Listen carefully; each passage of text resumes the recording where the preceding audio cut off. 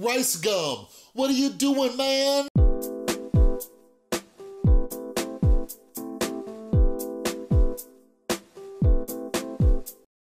Is up, everybody? This is Chris from The Rewired Soul, where we talk about the problem, but focus on the solution. And if you're new to my channel, my channel is all about mental health, and what I like to do is pull different topics from the YouTube community to try to teach you how to improve your mental and emotional well-being. So if you're into that kind of stuff, make sure you subscribe and ring that notification bell. And if you're into that stuff, you know what you should do? Do you wanna know what you should do?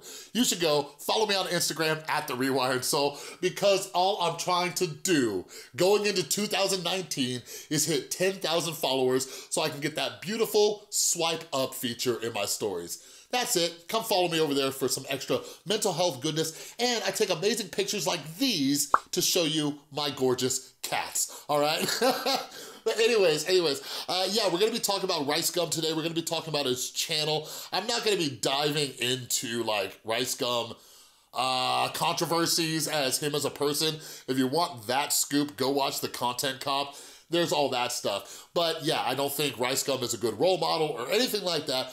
But I was actually inspired to write, uh, not write, to record this video talking about Rice Gum from one of my new favorite channels. It's not even a new channel, but the channel is Christopher Tom. So this dude has been following me for a little while on uh, YouTube and he's talked to me on Twitter and he's a good dude. And we've chatted a little bit and I just now this morning went over to his channel and I started binge watching his stuff and oh my God, I'm gonna link his channel down below and up at the info card.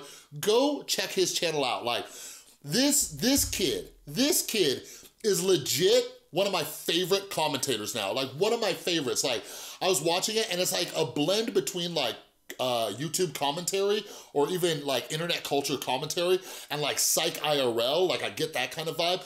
This kid is only 18 years old and like his understanding of the human brain and psychology and the mind and things going on in society, like it was blowing me away. So I was talking to him this morning, Hopefully he'll come over and do a collab with me. But you guys, like he's only at 9,000 subscribers. And like my one of my other goals aside from growing my Instagram in 2019 is to help this kid blow up. Like he is phenomenal and super, super smart for his age. So go check out Christopher Tom, all right?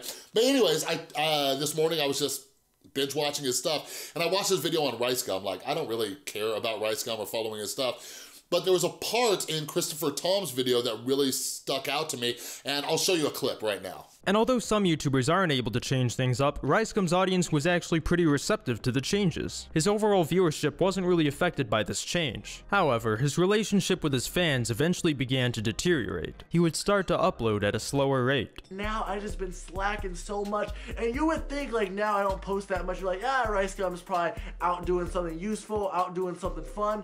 No, I'm at home doing nothing. I just been lazy. I was on my couch using Tinder like two seconds ago. Now this in and of itself isn't so bad. What made this situation so bad for him was that he would often make promises to his subscribers, like daily uploads, and he would continuously break these promises again and again. Hey guys, it's me again. I feel like every week we talk, I give you guys more of a reason to hate me. I have a lot of supporters and I have a lot of haters, but slowly my supporters are turning into haters. Like, it's a combination of lack of content, broken promises, and just being inconsistent is honestly all my fault. You guys deserve a lot better. But he still continued to slack on his upload schedule. So yeah, the first topic I want to talk about is like having false promises and little to no accountability.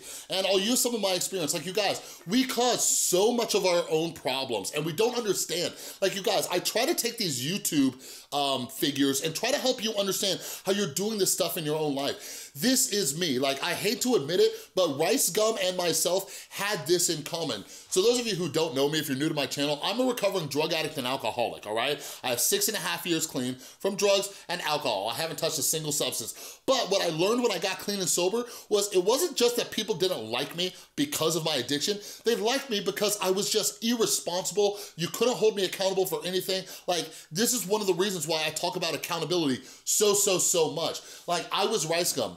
I, I knew I was screwing up. I always knew I was screwing up, whether it was with my family, with my girlfriend, with my friends, with work, right? I would keep messing up over and over and over and I would apologize. I would keep coming back and apologize. And the thing was, I was so sincere about my, my apology. I felt awful. I felt awful about it. I'm like, you know what? I'm gonna change. I'm gonna try to stop doing this. I'm, I'm gonna work really hard at it. But I didn't.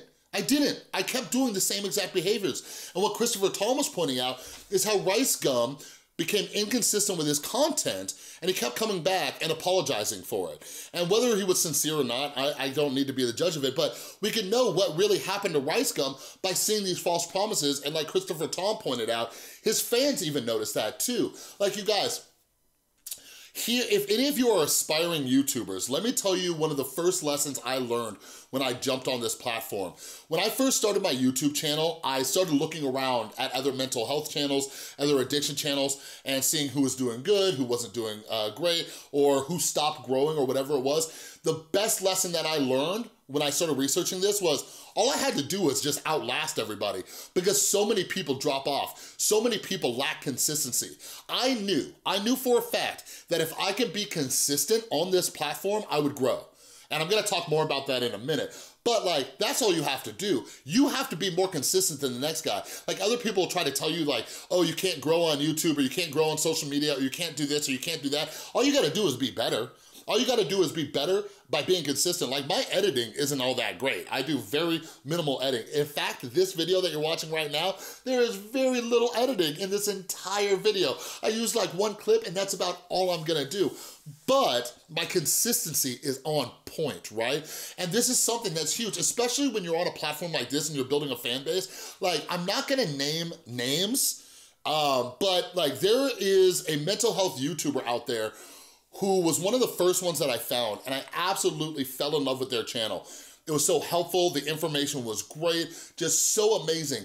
And as I started to take YouTube seriously, they stopped posting videos. Now, granted, they were dealing with their own kind of mental health struggles, but as a mental health YouTuber, that's one of the reasons we gotta keep this thing in check. Like, same thing as a father, I gotta keep my mental health in check so I can be a good father. But when we're mental health YouTubers, it gives us even more of a reason to make sure our mental health is in a good place. But anyways, this YouTuber made a couple comebacks, disappeared, and, and yeah, it bums me out. Like, it really bums me out.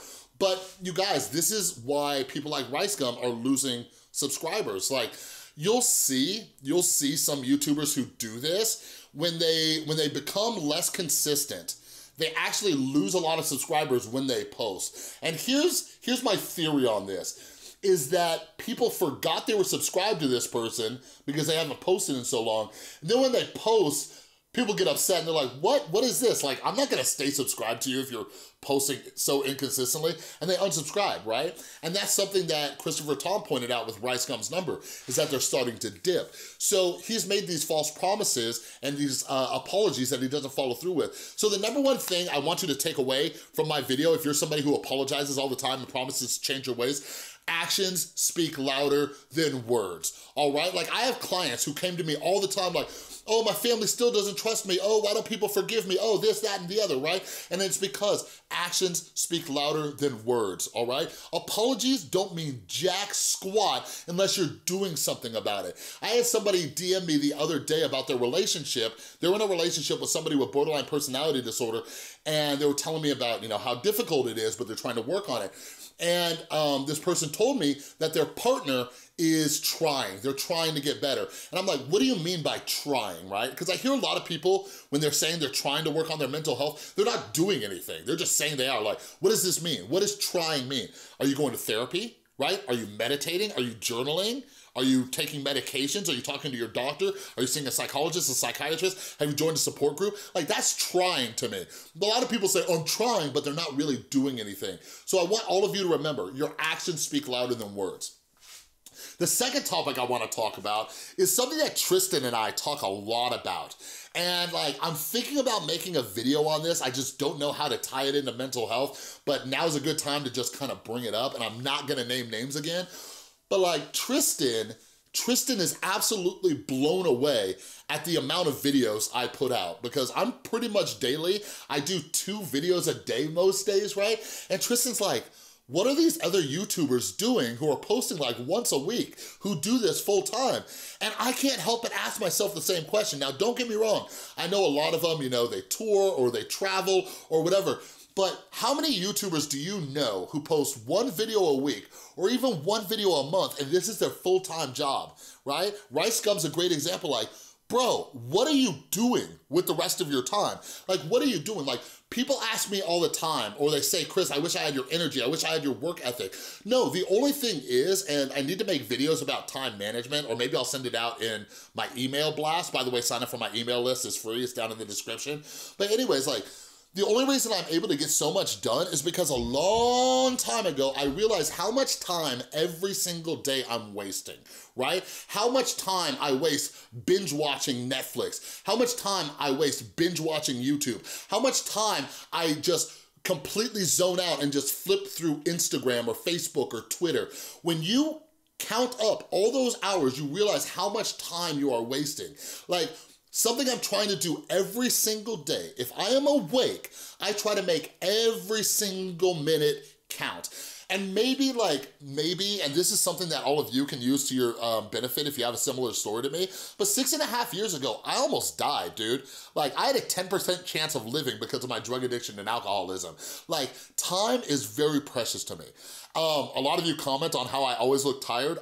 I don't sleep that much. When I wake up early in the morning, I don't like to go back to bed because when I'm awake, like I am living on borrowed time and I am so grateful every single day that I get to wake up and I get to do something like this to help inspire other people like you to improve your mental health. I love it. I love it so, so, so much. My life is so much better today. So once I realize that, I try to make every minute of my day a little bit better by making it worthwhile, whether it's making these videos, whether it's spending time with Tristan or my son, or it's just communicating with all of you. Like just this morning, I did a live stream and I got to hang out with you guys, all right? But anyways, anyways, let me know what your thoughts are about inconsistent YouTubers, or let me know if you have issues with time management. Let me know down in the comments, all right?